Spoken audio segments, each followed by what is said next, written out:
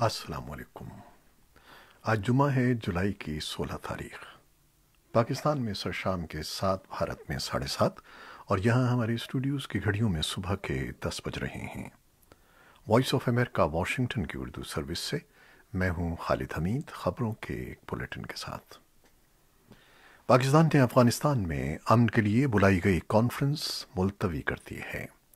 पाकिस्तान के दफ्तर खारजा का कहना है कि अफ़गानिस्तान में क़याम अमन के लिए पाकिस्तान की जानब से बुलाई गई कॉन्फ्रेंस मुलतवी कर दी गई है और अब इस कॉन्फ्रेंस का इनका ईद के बाद होगा। सरकारी जराये का कहना है कि अफगान सदर अशरफ गनी ने वज़ीर अजम इमरान खान से मुलाकात में कॉन्फ्रेंस को मौखर करने की दरख्वास्त की थी। पाकिस्तान के वज़ीर अजम इमरान खान का कहना है कि हमने अफगान अमन अमल के लिए संजीदा कोशिशें की और अफ़गानिस्तान में बदमनी के लिए पाकिस्तान पर इल्ज़ाम लगाना गैर मुनसिफाना है। इमरान खान का कहना था कि जब लाखों अमरीकी और नेटो फौजी अफ़गानिस्तान में थे, तब तालिबान से मुजाकरात करने चाहिए थे। अब जब तालिबान को अफ़गानिस्तान में फतह नज़र आ रही है तो वो हमारी बात क्यों सुनेंगे? तजियाकारों का कहना है कि अफ़गानिस्तान में ज़मीनी हक़ तेज़ी से तब्दील हो रहे हैं। और अफ़गानिस्तान में बाज़ ऐसे अनासर मौजूद हैं, जिन्हें मालूम है कि आइंदा कुछ अरसे में अफगान सियासत में उनका कोई किरदार नहीं होगा। ऐसे लोग दोनों मुल्कों के दरमियान ताल्लुक को ख़राब करना चाह रहे हैं। पाकिस्तान ने अफगान नायब सदर अमरुल्ला सालेह की जानब से लगाए गए इन इल्ज़ाम की सख्ती से तरदीद की है, जिसमें उन्होंने कहा था कि पाकिस्तानी फ़जाइया की जानब से अफगान आर्मी और फ़जाइया को चमन स्पिन बोल्दक बॉर्डर क्रॉसिंग पर तालिबान के खिलाफ कार्रवाई न करने की तंबीह की गई है। गुजशत रोज़ समरुल्ला सालेह ने अपने ट्वीट में इल्ज़ाम लगाते हुए कहा था कि पाकिस्तानी फ़जाइया तालिबान को मुख्तलिफ़ इलाक़ों में मदद भी फराहम कर रही है। अफगान नायब सदर के इल्ज़ाम पर जुमे को पाकिस्तान के दफ्तर खारजा ने अपने एक बयान में कहा कि पाकिस्तान और अफगान एयरफोर्स के दरमियान कोई रबता नहीं हुआ है और अफगान नायब सदर के इस तरह के बयान से अफ़गानिस्तान में अमन के लिए पाकिस्तान की संजीदा कोशिशों की हौसला शिकनी होती है। बयान के मुताबिक, अफ़गानिस्तान ने पाकिस्तान को चमन सेक्टर से मुतसिल अपनी हदूद में फ़जाई कार्रवाई करने से मुतल आगाह किया था, जिसका पाकिस्तान ने मुस्बत जवाब दिया है। तालिबान और अफगान हुकूमत के दरमियान झड़पों का आगाज़ बुत से हुआ था। दफ्तर खारजा ने कहा है कि अफगान हदूद से फरार होकर पाकिस्तान आने वाले अफगान सिक्योरिटी फोर्सेस के चालीस एहलकारों को वापस भेज दिया गया है। बयान के मुताबिक अफगान सिक्योरिटी फोर्सेस ने अगर लॉजिस्टिक सपोर्ट की दरख्वास्त की तो वो उन्हें फराहम की जाएगी। अफ़गानिस्तान में मुसालहत की आला कौंसिल के चेयरमैन अब्दुल्ला अब्दुल्ला अफगान सियासतदानों के उस वफ्त की क़्यादत करेंगे, जो तालिबान के साथ मीटिंग के लिए जुम्मे की सपहर कतर रवाना हुआ। अब्दुल्ला के दफ्तर के एक उहदेदार ने वॉइस ऑफ़ अमेरिका को बताया कि सबक अफगान सदर हामिद करजई भी उन अफगान सियासतदानों में शामिल हैं, जो अब्दुल्ला अब्दुल्ला के साथ गए हैं। जनूबी सूबे कंधार में सिक्योरिटी जराए ने वॉइस ऑफ़ अमेरिका को बताया है कि दानिश सिद्दीकी, जो भारत में मुतन खबरसा इदारे राइटर के चीफ फोटोग्राफर थे, वो कंधार के स्पिन बोल्दक ज़िले में होने वाली झड़पों में मारे गए हैं।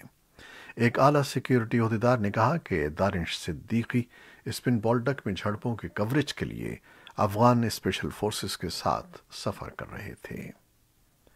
खातन के हकूक़ के हामी और मजहबी रहनुमाओं ने अफ़गानिस्तान के लिए अकवा मुतहदा की अमन फ़ौज से मुतालबा किया है कि वो गुजशत दो दहाइयों के दौरान ख़वान को हासिल होने वाली कामयाबियों का तहफ़ करें। तालिबान के दौर में ख़वान को स्कूल जाने, घर से बाहर काम करने या मुहाफ़ मर्द के बग़ैर अपना घर छोड़ने की इजाज़त नहीं थी और अगरचे उन्हें अब भी बहुत से चैलेंजों का सामना है, लेकिन अफ़गान ख़वान तेज़ी से ताकतवर मनासिब संभाल चुकी हैं और ख़दशा है कि बैन अवी फ़ौज की रवानगी और तालिबान के कब्ज़े से ख़वान की इन कामयाबियों को नुकसान पहुँच सकता है। खैबर पख्तूनख्वा के कबायली अजला औरकजई और कुर्रम के एक सरहदी इलाके में सिक्योरिटी फोर्सेस ने कार्रवाई करके उन पाँच मगवियों को बाजियाब करा लिया है, जिनको दीगर सोलह साथियों समेत 26 जून को वस्ती कुर्रम के एक इलाके से अगवा किया गया था। निजी मोबाइल कंपनी से मुंसलिक दस अफराद को अगवा करने के बाद छोड़ दिया गया था, जबकि एक को कत्ल कर दिया गया था। इन अफराद की बाजियाबी के लिए की जाने वाली कार्रवाई में एक कैप्टन समेत सिक्योरिटी फोर्सेस के दो एहलकारों ने जान दे दी और तीन जख्मी हुए, जबकि ताज़ा कार्रवाई में सिक्योरिटी फोर्सेस ने तीन दहशतगर्दों को हलाक करने का दावा किया है। उधर नामालूम अस्करियत पसंद अगवाकारों ने शिमाली और जनूबी वजीरिस्तान से अगवा किए गए आठ मखवियों का वीडियो पैगाम जारी किया है, जिसमें हुकूमत से अगवाकारों के मुतालबात तस्लीम करने का मुतालबा किया गया है।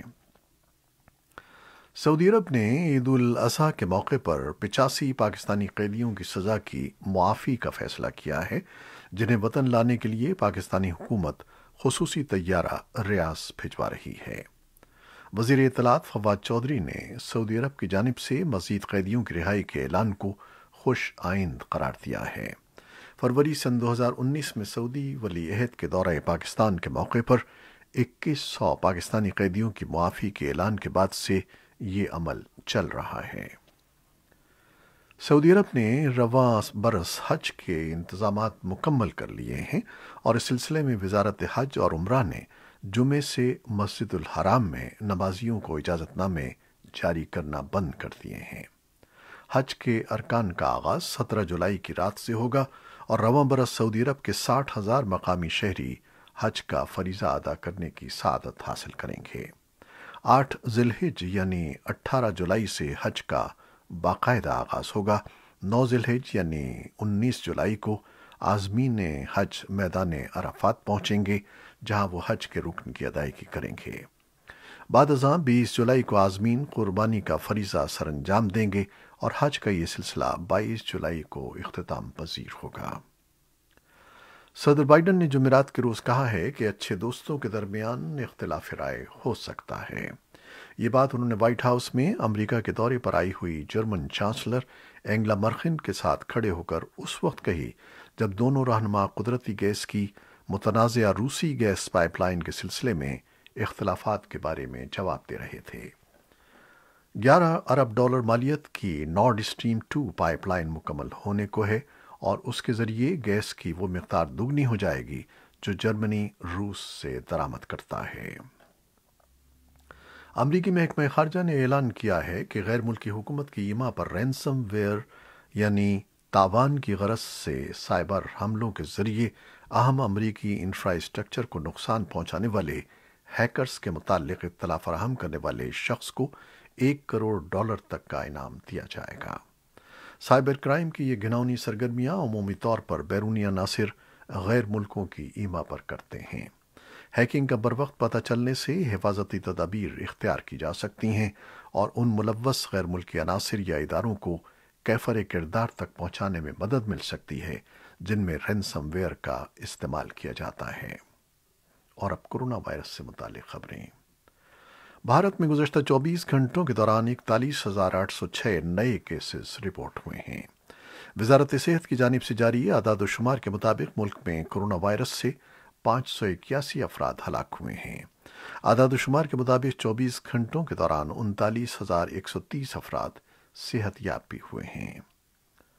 अमरीकी सर्जन जनरल विवेक मर्थी ने जुमेरात को सेहत आमा के लिए एक एडवाइजरी जारी की, जिसमें आवाम पर ज़ोर दिया गया है कि वो कोविड 19 की वैक्सीन के बारे में गलत मालूम को महदूद करने में मदद करें, जो उनके बकौल अमरीकी वैक्सीनेशन प्रोग्राम की सुस्त रवि का बायस बनी है। मर्थी ने इस साल के शुरू में अपना मनसब संभालने के बाद से पहली एडवाइजरी जारी की है, जिसमें उन्होंने सेहत के बारे में गलत मालूम फैलाने को सेहत आमा के लिए एक संगीन खतरा करार दिया है। आलमी इदारे सेहत ने जुमेरात के रोज चीन से मुतालबा किया है कि वो कोविड 19 की शुरुआत से मुतल तहकीक़ात में ज़्यादा से ज़्यादा ताउन करे, जिसमें करोड़ों अफराद मुबतला हुए और लाखों अपनी जिंदगियाँ हार गए। अमरीका, चीन, जापान और रूस के रहनुमा बैरुलकाहिल के गिरद के मुल्कों के उन लीडरों में शामिल हैं, जो ऑनलाइन इस बारे में तबादले ख्याल के लिए जमा हो रहे हैं कि कोरोना वबा के असरात से मुतासरा इन मुल्कों की माशी बहाली के लिए क्या हमत अमली इख्तियार की जाए। ये थी वो खबरें जो फेसबुक लाइव पर हमने आपके लिए पेश की। हमारी वेबसाइट और यूट्यूब पर यह बुलेटिन पोस्ट कर दिया जाता है, जिसे आप बाद में भी देख सकते हैं। हमारे इस बुलेटिन को शेयर करना ना भूलिएगा। खालिद हमीद का इजाज़त दीजिए। अल्लाह हाफिज़।